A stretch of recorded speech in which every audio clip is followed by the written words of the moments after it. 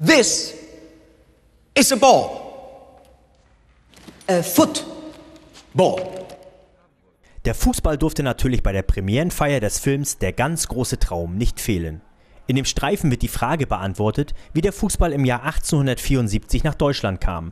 Hauptdarsteller Daniel Brühl spielt den Braunschweiger Lehrer Konrad Koch. Um seine Schüler für die englische Sprache zu begeistern, greift Koch tief in die Trickkiste und holt einen braunen Lederball heraus.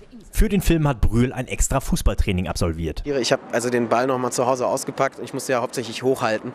Und das ist mir auch über 30 Mal dann in dieser, in dieser Szene gelungen. Und es wurde, wie ich heute erfahren habe, was weggeschnitten. Das heißt, es war noch länger.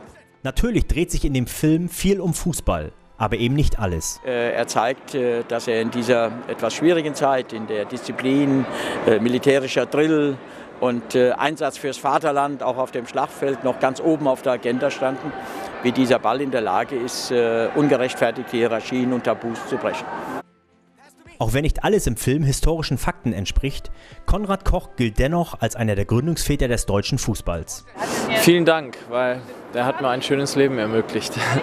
Dabei hatte Lehmann jahrelang versucht, die Grundidee des Spiels zu verhindern. I kick the ball into the goal.